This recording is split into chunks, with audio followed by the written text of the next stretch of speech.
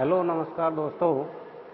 आज के अपना जो नेक्स्ट टॉपिक है प्लांट वाटर रिलेशन पादप जल संबंध, इसमें अपन ने पादपों में जल का महत्व,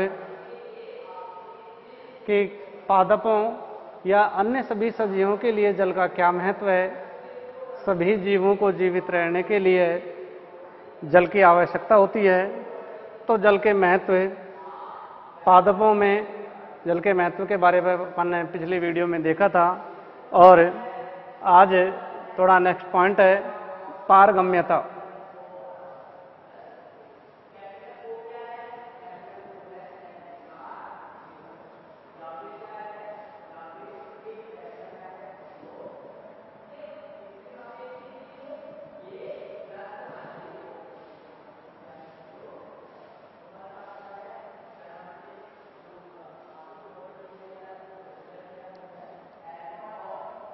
पारगम्यता। देखो, पारगम्यता क्या होता है? ये पादपों में किसी झिल्ली के द्वारा जल के अणुओं का जो आवागमन होता है, वो कहलाता है पारगम्यता। कि पादपों में जल के अणुओं का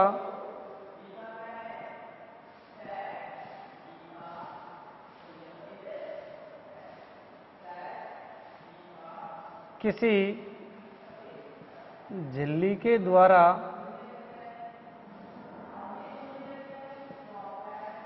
पार होना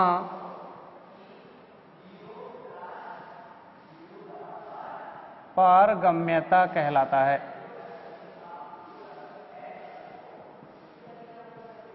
पारगम्यता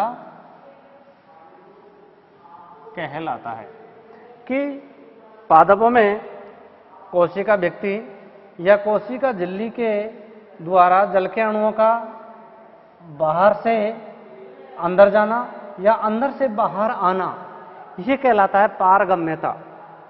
पारगम्य कहलाता है और इसका जो गुण होता है, इस गुण को बोलते हैं पारगम्यता। अब देखो, पादपों में एक झिल्ली होती है, जिसको बोलते हैं अर्ध पारगम्य झिल्ली। अर्ध पारगम्य झिल्ली। इसको चयनात्मक सेलेक्टिव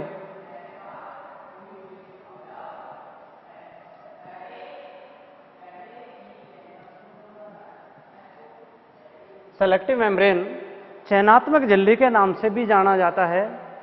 वह झिल्ली जिस के द्वारा या जिसमें होकर विलायक के अणु तो विलायक के अणु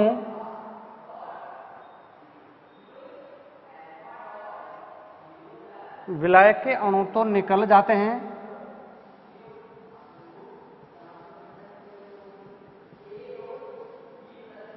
परंतु विलय के अणु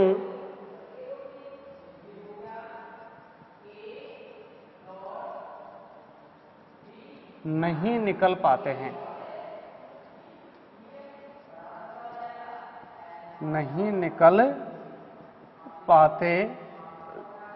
अर्धपारगम्य झिल्ली कहलाती है।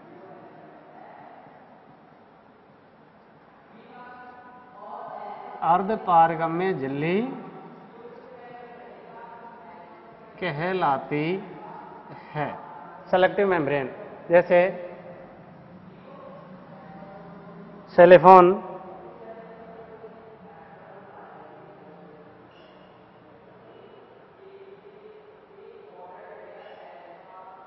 सेलोफेन सेलोफेन एक अर्धपारगम्य झिल्ली का उदाहरण है। अर्धपारगम्य झिल्ली चयनात्मक झिल्ली के नाम से भी जानी जाती है सेलेक्टिव मेम्ब्रेन जिसमें होके विलायक के अणु तो निकल जाते हैं, परंतु विलय के अणु उसमें होके पार नहीं हो पाते हैं, वो कहलाती है अर्ध पारगम्य झिल्ली अब इसमें दो पॉइंट हैं, परासरण और विसरण। परासरण और विसरण।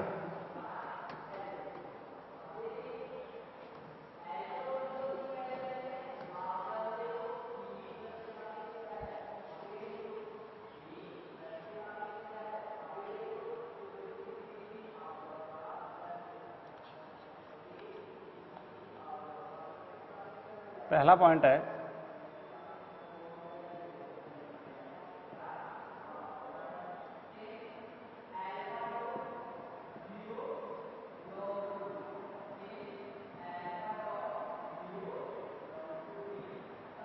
डिफ्यूजन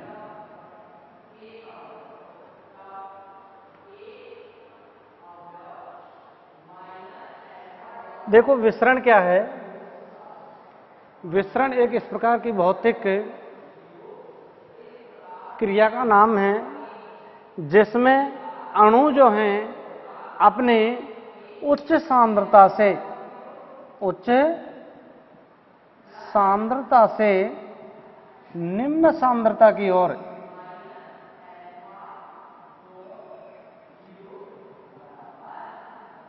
अणु जो है अपने उच्च सांद्रता क्षेत्र से निम्न सांद्रता की ओर स्वतः ही अभिगमन करते हैं। जो स्वतः अभिगमन करते हैं तो यह क्रिया कहलाती है विसरण। कि विसरण की जो परिभाषा है,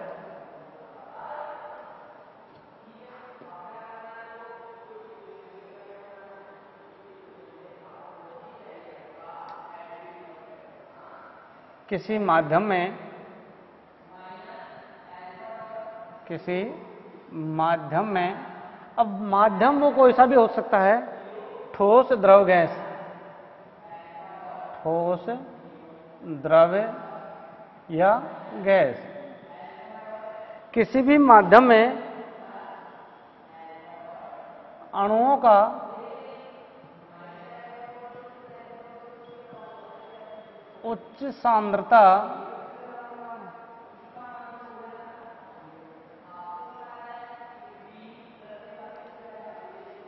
अणुओं का उच्च सांद्रता क्षेत्र से निम्न सांद्रता क्षेत्र की ओर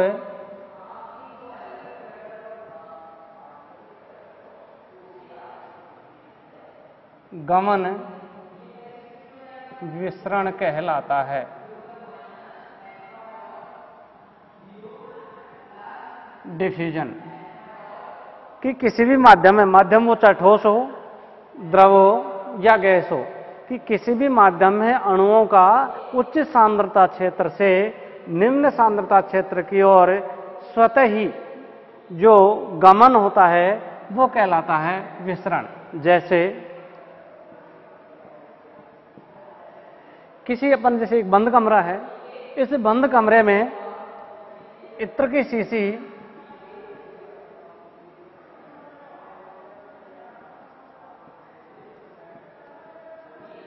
का खुलना।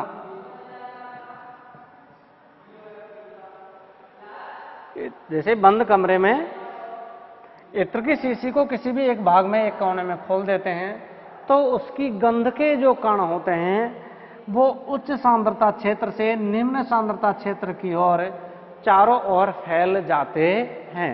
तो इस प्रकार से अणुओं का जो स्वतः गमन होता है अणुओं का अपने उच्च सांद्रता क्षेत्र से निम्न सांद्रता क्षेत्र की ओर जो अणुओं का स्वतः गमन होता है, वो कहलाता है विसरण। इसी प्रकार से कैमेनोफोर कैमेनोफोर को पोटेशियम पर मैग्नेट, इसको जैसे कि बीकर बीकर में जल लेके उस जल में कुछ मात्रा में यदि केमेनोफोर के क्रिस्टल डाले जाएँ, केमेनोफोर के क्रिस्टल डाले जाएँ तो ये अपने आयनों में टूट के और तुरंत रूप से ये द्रव के सभी भागों में या इस पात्र के सभी भागों में समान रूप से फैल जाता है और उसका रंग कैसा कर देता है? लाल। अणु, जल के कणों का रंग कैसा कर देगा? लाल। क्योंकि इसमें जो केमेनोफोर है, वो तुरंत रूप से अपने आयनों में टूट के और जल के अणुओं के साथ स्वतः गमन कर जाता है। तो इस प्रकार से विसरण एक इस प्रकार की भौतिक क्रिया है, जिसमें अणुओं का उच्च सांद्रता क्षेत्र से निम्न सांद्रता क्षेत्र की ओर स्वतः ही जो गमन होता है, ये क्रिया कहलाती है विसरण। विसरण में अपन ने अभी उदाहरण देखे थे। उदाहरण में चाहे तो सेंट या किसी एक विशेष प्रकार की खुशबू वाले किसी इत्र की शीशी है, उसको किसी बंद कमरे में खोला जाए तो खोलने के बाद उसकी जो गंध के कण हैं, उसकी जो खुशबू के जो कण हैं, वो धीरे धीरे पूरे कमरे में एक समान रूप से स्वतः ही फैल जाते हैं। इसी प्रकार से जैसे अपन ठोस में देखें द्रव में, जैसे जल से भरे हुए किसी एक पात्र में केमेनोफोर के कुछ क्रिस्टल डाले जाएँ, लाल दवा के कुछ कण डाले जाएँ तो वो कण पिघल के अपनी द्रवावस्था में आके और धीरे धीरे पूरे जल में स्वतः ही रूप से अपने आप घुल जाते हैं। तो ये क्रिया कहलाती है विसरण। विसरण एक अच्छा पॉइंट है। परासरण भी एक विसरण ही कहलाता है। विसरण की परिभाषा जब किसी माध्यम है, अणुओं का उच्च सांद्रता क्षेत्र से निम्न सांद्रता क्षेत्र की ओर जो गमन है, वो कहलाता है विसरण। इसमें विसरण के कुछ महत्व हैं।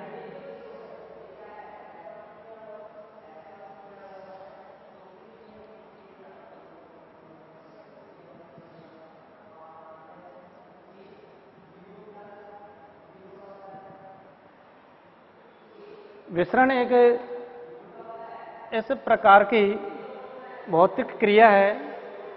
विसरण के द्वारा ही सभी सजीवों में जो श्वसन की क्रिया होती है,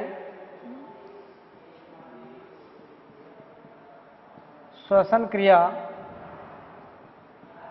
विसरण के माध्यम से ही होती है, के द्वारा ही होती है।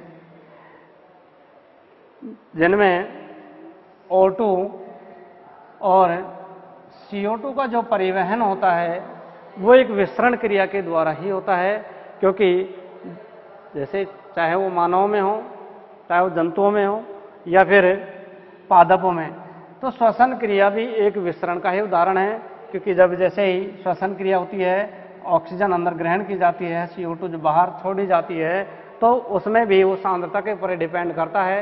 जब फेफड़ों के वायु दाब अधिक हो जाता है तो अधिक वायु दाब के बाद सी तो बाहर निकल जाती है। जब फेफड़ों का वायु दाब कम हो जाता है तो ऑक्सीजन उनके अंदर प्रवेश कर जाती है। तो इस प्रकार से श्वसन क्रिया एक विस्तरण का ही एक उदाहरण है। दूसरा है,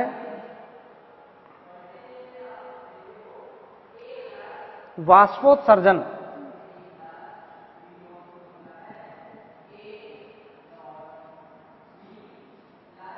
वाष्पोत्सर्जन।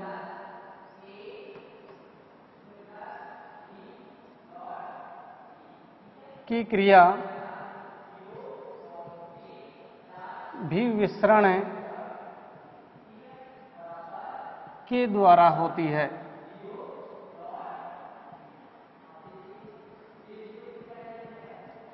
देखो वाष्पोत्सर्जन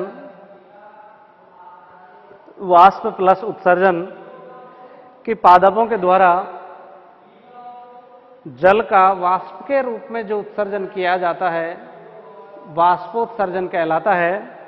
वाष्पोत्सर्जन एक इस प्रकार के भौतिक क्रिया है कि जब वायुमंडलीय आर्द्रता कम हो जाती है तो उसमें पत्तियों के द्वारा, सूर्य के प्रकाश या तापमान के द्वारा पत्तियों के द्वारा जो जल वाष्प के रूप में बाहर उत्सर्जित किया जाता है, वो क्रिया कहलाती है वाष्पोत्सर्जन। वाष्पोत्सर्जन क्रिया भी एक स्वतः क्रिया है, जिसमें जल के अणु उच्च सांद्रता क्षेत्र से निम्न सांद्रता क्षेत्र की ओर स्वतः अभिगमन करते हैं कि जैसे ही जल पादपों की जड़ों के द्वारा जाइलम और फ्लोएम के माध्यम से जाइलम के द्वारा अवशोषित किए जाते हैं और पत्तियों की सतह से सूर्य के प्रकाश या वातावरणीय टेम्परेचर के कारण इन पत्तियों से जो जल के अणु बाहर निकलते हैं, ये क्रिया कहलाती है वाष्पोत्सर्जन वाष्पोत्सर्जन की पत्तियों के द्वारा जल का वाष्प के रूप में जो उत्सर्जन है, वो कहलाता है वाष्पोत्सर्जन तीसरा है, पादपों में भोज्य पदार्थों, पादपों में भोज्य पदार्थों के अभिगमन। कि पादपों में जो भोज्य पदार्थ होते हैं, खनिज लवण जो होते हैं, उनके ट्रांसफ़र उनके स्थानांतरण के लिए भी विसरण क्रिया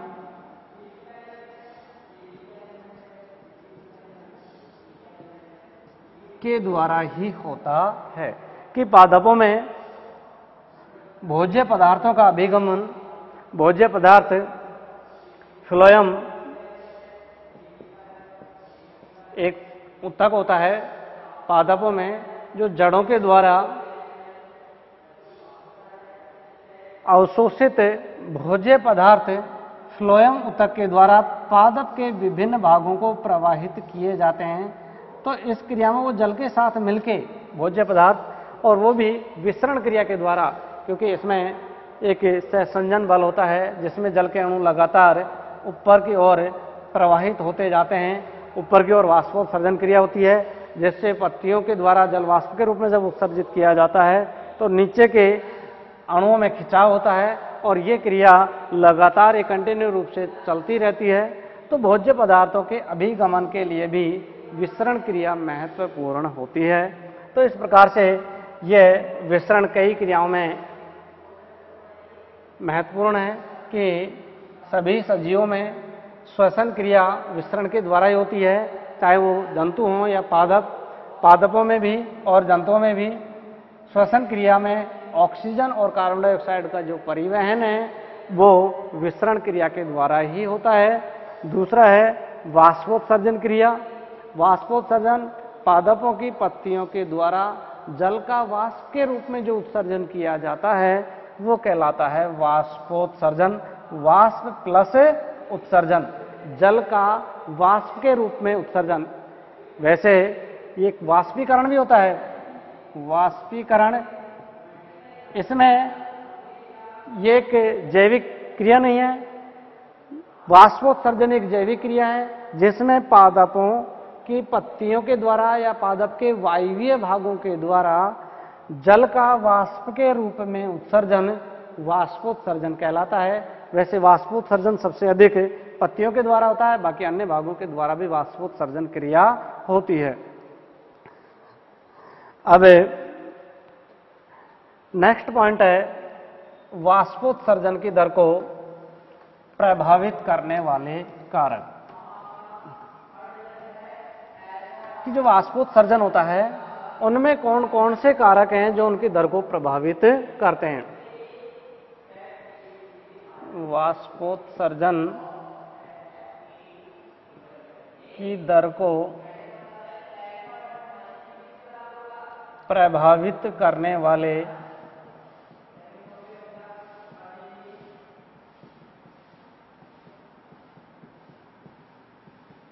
कारक।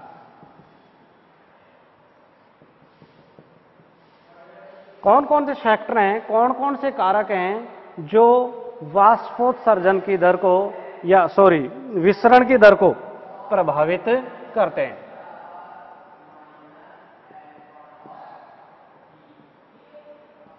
कि कौन कौन से फैक्टर हैं जो विस्तरण की दर को प्रभावित करते हैं, जिसमें पहला कारक है, पहला बिंदु है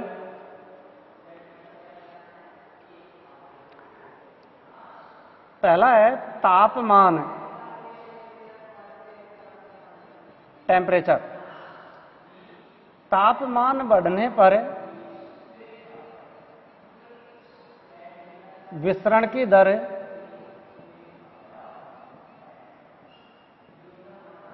बढ़ती है क्योंकि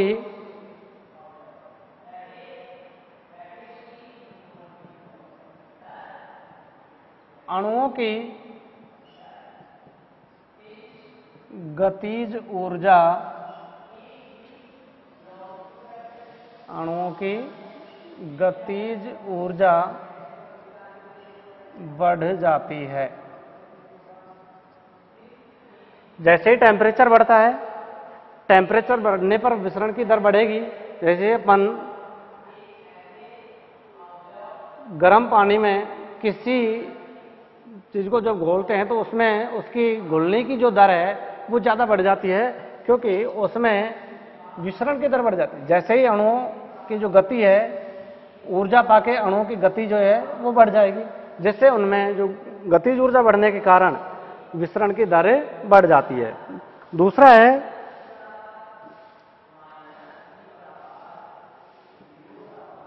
ग्राहम के विसरण के नियम के अनुसार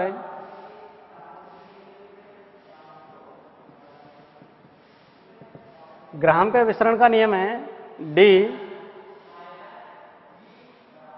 is proportional to one upon D का under root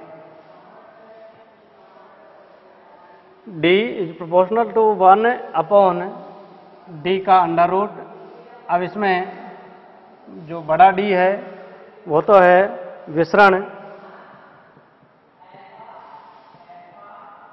और छोटा डी है घनत्व।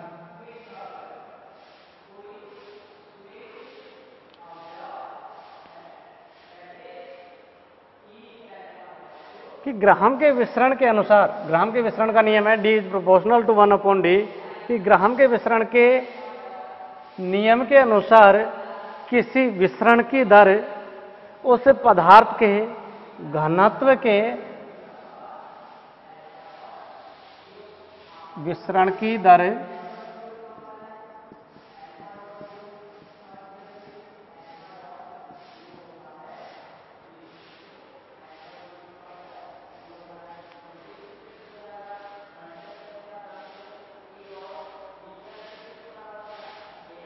विस्तृत विसरण की दर विस्तृत होने वाले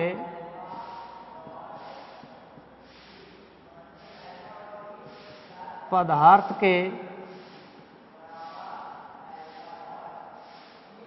विस्तृत होने वाले पदार्थ के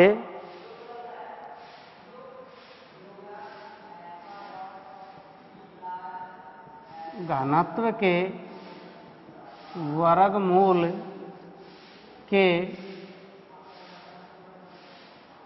व्युत्क्रमानुपाती होता है।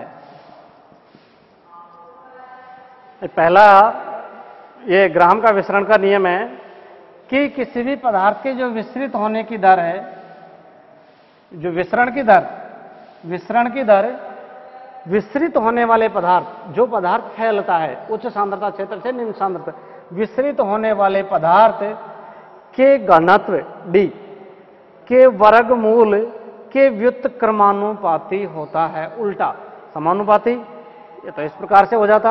D is proportional to under root D और इसका जो उल्टा हो जाएगा वन अपॉन डी का अंडर रूट कि विसरण की दर विस्तृत होने वाले पदार्थ के घनत्व के, घनत्व डी, घनत्व के वर्गमूल स्क्वायर, वर्गमूल के व्युत्क्रमानुपाती होता है।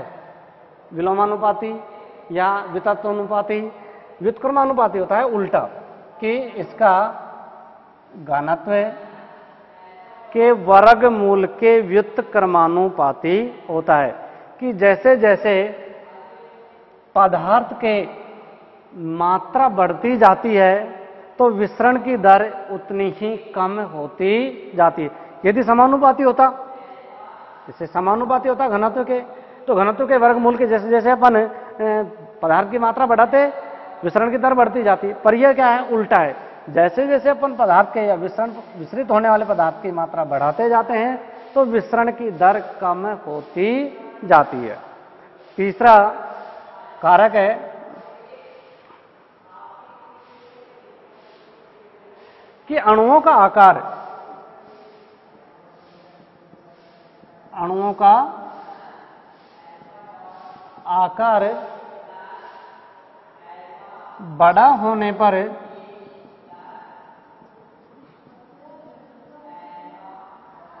अणुओं का आकार बड़ा होने पर विसरण की दर